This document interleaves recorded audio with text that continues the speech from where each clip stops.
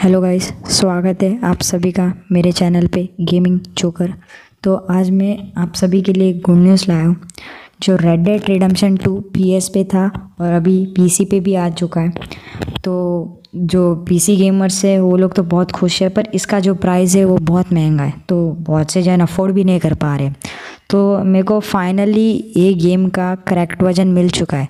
हालाँकि बहुत से यूट्यूबर्स कह तो रहे थे कि इसका अभी तक करेक्ट वर्जन नहीं आया इसको बहुत टाइम जाएगा, पर मेरे को क्रैक वर्जन मिल गया तो मैं वो करेक्ट वर्जन का लिंक डिस्क्रिप्शन में दे रहा हूँ।